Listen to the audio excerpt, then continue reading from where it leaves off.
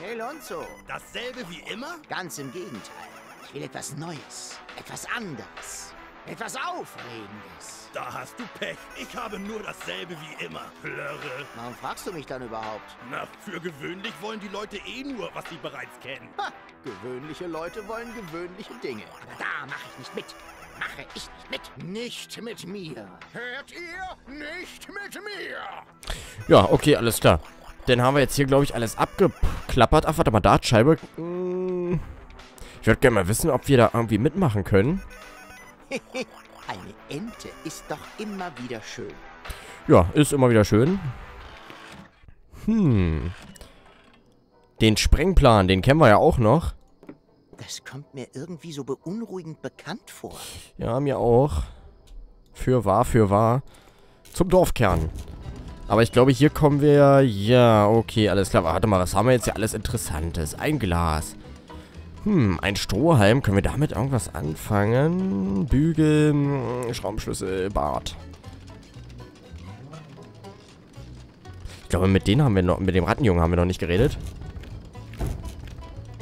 Hallo Rattenjunge. Das ist nicht mein Name. Ich heiße Leonardo Alfonso Miguel Garcia de... Na, macht ja nichts. Rattenjunge passt doch. Den anderen Quatsch kann sich ja eh keiner merken. Quatsch! Mein Name wurde mit einem Preis ausgezeichnet. Rattenjunge ist am Start. Warum sind alle so gemein zu mir? Oh, darfst du nicht mit den anderen Ratten spielen? Wenn Sie das Faulobstspiel meinen...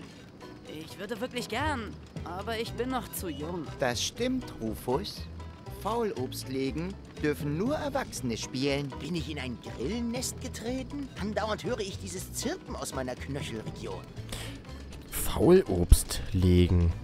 Na dann, lass uns spielen. Hast du einen Gegner? Ach ja, da war ja was. Nee, ich hab doch Wenzel. Hey, Wenzel. Hey, Rufus. Lust auf eine Partie Ah, okay. Faulobst legen? Oh, ach Wenzel, schön dich wiederzusehen. Äh, du wirst nicht glauben, was mir heute schon alles passiert ist. Wie ich sehe, hast du einen Job in der Klärgrube angenommen. Äh, hast du den Job? Faulobst legen, das klingt aber gar nicht lustig. Na, dann lass uns spielen. Äh, warum kann der Rattenjunge nicht mitspielen? Hm. Naja, wir begrüßen ihn mal liebevoll. Ach, Wenzel. Schön, dich wiederzusehen. Aber Rufus, wir haben uns doch gestern erst getroffen. Du wolltest dir eine Trittleiter ausleihen. Am Ende hast du aber meinen Kopf benutzt. Eine kleine Verwechslung. Immer machst du dich über meine Größe lustig. Man muss sich eben auch über die kleinen Dinge im Leben freuen können. Freuen wir uns doch. Ich habe mich doch auch gefreut, ihn wiederzusehen, die kleine Knutschkugel. Du wirst nicht glauben, was mir heute schon alles passiert ist. So, ja, berichten wir mal ihm das. Mal gucken, ob es ihm interessiert. Du wirst nicht glauben, was mir heute schon alles passiert ist. Hm, lass mich raten. Du hast versucht, nach Elysium zu kommen, bist irgendwo runtergefallen und hast dir den Kopf angestoßen. Möp, falsch. Ich hatte einen visionären Traum von der Zukunft. Dann ist mir ein zauseliger Typ mit einer Zeitmaschine begegnet. Und jetzt werde ich von einem rosa Elefanten terrorisiert. Das klingt aufregend, aber vielleicht sollten wir die Theorie mit dem gestoßenen Kopf noch nicht komplett verwerfen. Hm. Na gut, wie ich sehe, hast du den Job. Klärgrube. Hashtag Klärgrube. Wie ich sehe, hast du doch den Job in der Klärgrube angenommen. Gut so. Ein Mann muss wissen, wo sein Platz ist. Hä? Wie kommst du denn darauf? Der Klärwasserbottich, der Geruch, deine generelle Veranlagung. Ich habe einfach eins und eins zusammengezählt. Das ist kein Klärwasser. Der Bottich gehört zum lustigen Faulobstlegen. Ein Spiel mit einer jahrzehntelangen Tradition. Ihr hättet wenigstens mal das Wasser wechseln können. Ja, Faulobst legen, das klingt gar nicht lustig. Nun lass uns spielen.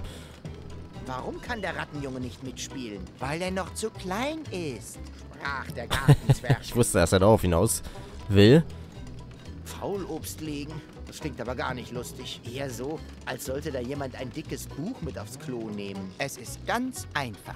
Jeder Spieler versucht als erstes drei Früchte seiner Sorte in eine Reihe zu legen. Ohne Handschuhe? Da bekommt man ja schon Pusteln vom Hinsehen. Ja, das größere Problem sind die Ratten. Die Viecher sind einfach verrückt nach dem Faulobst, Igitt, Igitt.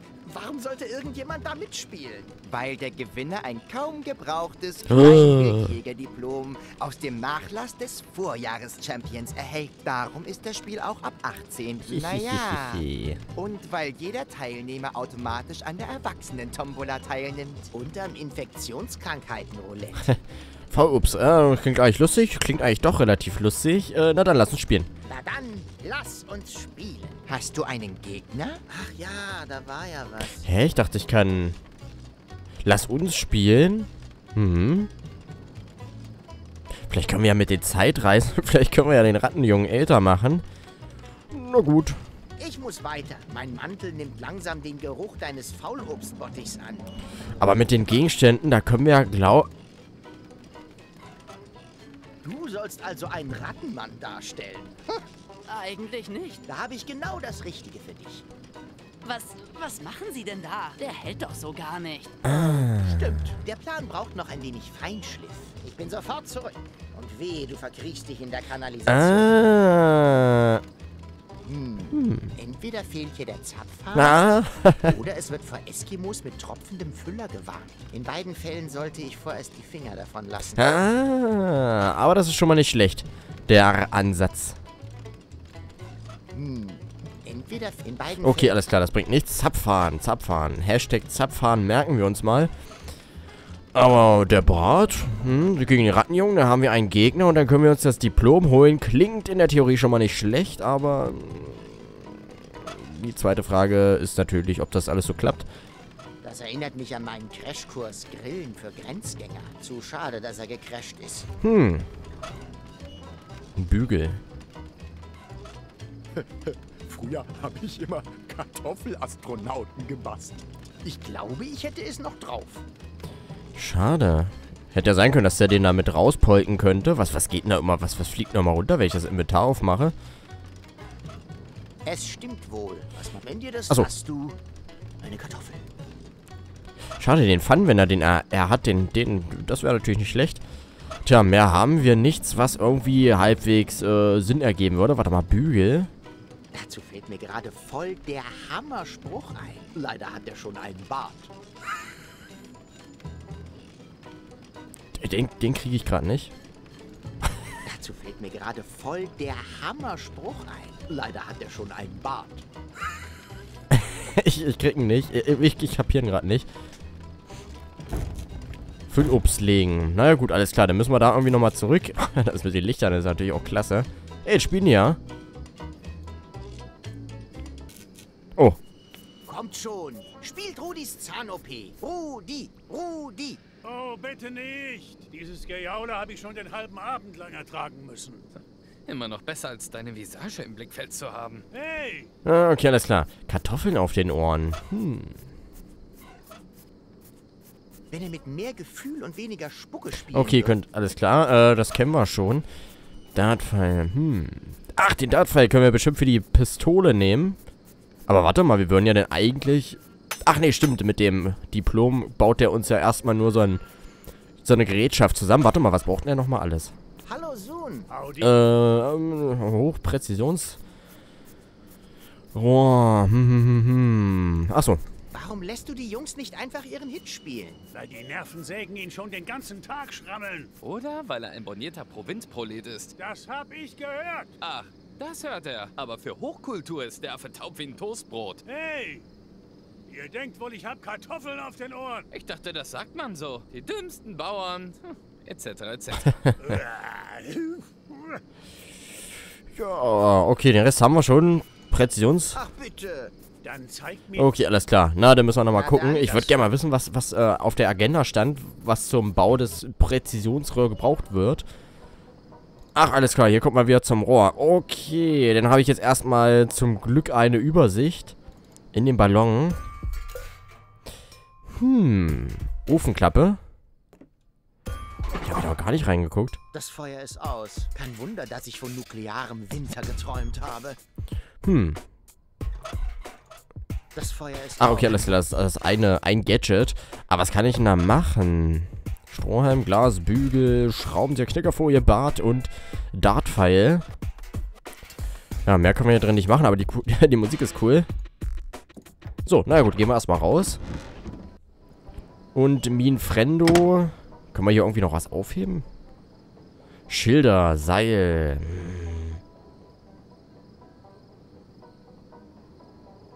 Frag mich, was passiert. Auf nach Oh nein! Elysium. Oh oh. ist denn jetzt? Ah, verdammt, der Ofen ist ja noch aus. Ach, der Ofen. Dumm von mir. Hoffentlich hat das keiner gesehen. Nee, hat keiner gesehen, außer ich Außerdem wollte ich und ein. Zuschauer. So, Schrottbeutel. Den Ofen müssen wir also ankriegen. Aber wozu ist denn das Seil hier? Verstehe ich gar nicht. Das sind ja Schilder. Nein, ich habe die Lasso-Nummer lange genug geübt. Wenn ich das nächste Mal werfe, dann um etwas zu fangen. Ah, das könnte vielleicht sein für den Elefanten. Um ihn dann hier unten in die Plorre zu, oder in den Ofen zu stecken.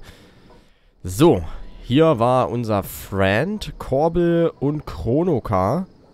Wollen wir noch mal die Zeit zurückdrehen? Ich weiß nicht. Es scheint mir immer weniger eine gute Idee zu sein. Bist du dir sicher, dass du diesmal gut darauf vorbereitet wärst? Du weißt, alles, was du seit dem Unfall gemacht hast, wird dadurch ungeschehen. Stimmt, lass uns lieber noch einen Augenblick warten. Stimmt. Lass uns lieb. Ich hasse. Okay, alles klar. Äh, die Tür hier war zu gewesen und ich glaube, das bleibt auch zu. Oh, da hinten ist Elysium. Wie jetzt? Bernhard hat schon zu? Ich brauche doch noch Signale. Signalraketen, okay, alles klar. Oh.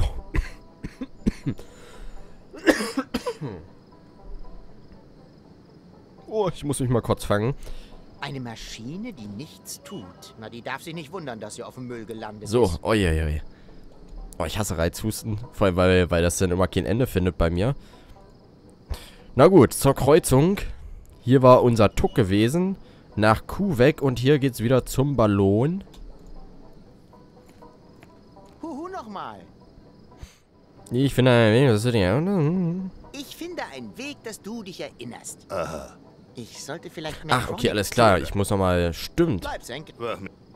Darauf, da würde ich ja nochmal hin. Zu Mr. Chronicle. Na, dann sprich mal mit unserem Howdy-Kollegen. Hey, Mac, hast du kurz Zeit? Die Frage ist falsch gestellt. Ich betrachte das als Ja. Wie kommt es, äh, dass wir uns nach Kurbeln äh, an alles erinnern und sonst niemand? Wie kommt es, dass wir uns nach dem Kurbeln an alles erinnern und sonst niemand? Ja, Moment mal. Das ist eine erstaunlich gute Frage. Also, ich habe dafür diese hochkomplizierte Kopfbedeckung erfunden. Aber du? Dein Aluhut schützt deine Erinnerung? Es ist schon etwas komplizierter. Für so einen verkopften Hirni wie dich bestimmt. Für mich ist der Fall damit gelöst. Dr. Gizmo musste mir mal diese Aluplatte einsetzen, nachdem irgendwer meinen Katapultplan sabotiert hat. Das könnte ein Faktor sein. Aber die Abschirmung funktioniert nur, wenn der Hut auch mit Stroh ausgefüttert ist. Musste dir dieser Dr. Gizmo auch Stroh einsetzen? Stroh? Ah, Hauptsache, es funktioniert, oder? Ja. Stroh. Der, das musste nicht eingesetzt werden. So, wie funktioniert das gleich mit der Erinnerung? Wie funktioniert das noch gleich mit der Erinnerung? Ich trage einen mit Stroh gefütterten Aluhut. Ach, Was machst, okay, alles Ist klar. mir schleierhaft. Die Wege des Rufus sind unergründlich. Ich muss dringend äh, diesen Elefanten loswerden. Okay, das hatten wir schon. Man sieht sich früher oder später. Beides nicht ausgeschlossen. Ja, beides nicht ausgeschlossen. Das heißt, wir brauchen Stroh und Aluminium. Und dann kann sich der gute, der gute Herr äh, sich wieder dran erinnern. Der Tuck. Nach Kuhweg. Tibbeli, tibbeli, tapp. Aber natürlich kommt die Frage, wo wir das alles herkriegen. Ins Dorf. Und hier haben wir zum Stadttor und wieder... Was zum Tunnel? Ach, hier sind wir. Sprengtunnel, Lonzos Kneipe.